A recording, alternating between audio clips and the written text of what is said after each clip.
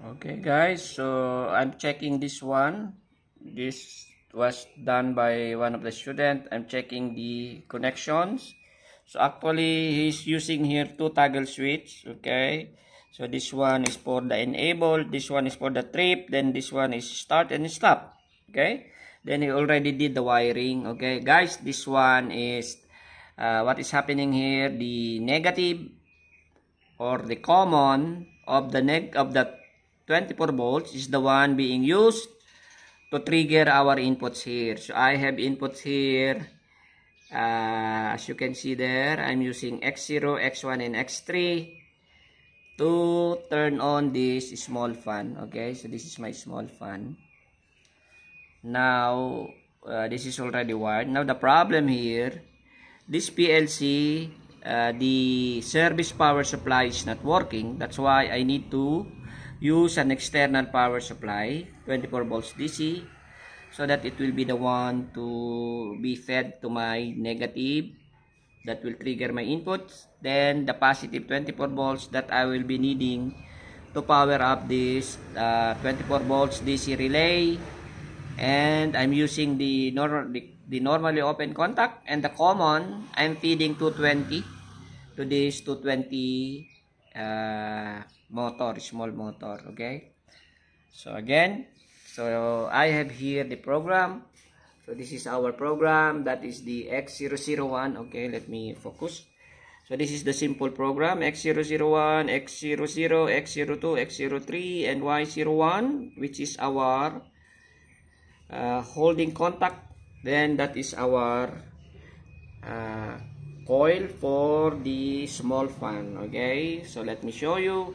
What I will do, I will say X001 is just like the enable or the selector switch in automatic. Okay, as you can see, I put it in, I toggle the switch. Now, it's like it's already in, uh, it's already in automatic position. Now, we are just waiting for the X00, which is the start push button Then X002 is the stop push button. Then X003 is the trip. Okay?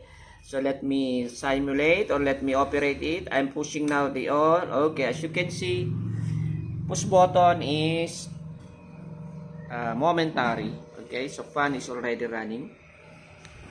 As you can see, it's already running. Then you can see also in the PLC itself, 1 and 2 is closed. 1 is our uh, it's like the our uh, uh, our selector switch in auto then 2 is our push uh, stop push button. Then my output is there. I'm using Y1 so there is a light meaning it's activating my load or my coil okay?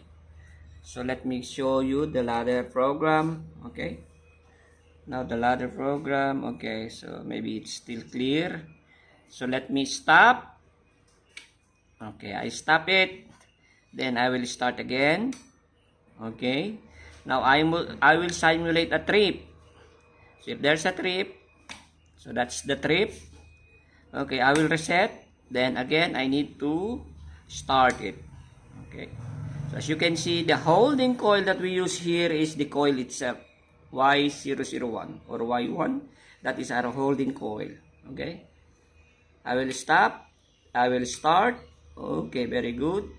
I will trip again I will simulate a trip condition okay. Okay good.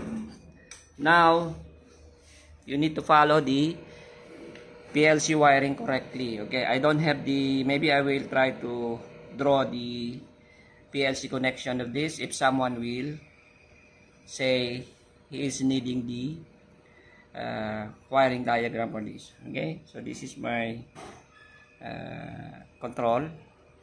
Okay?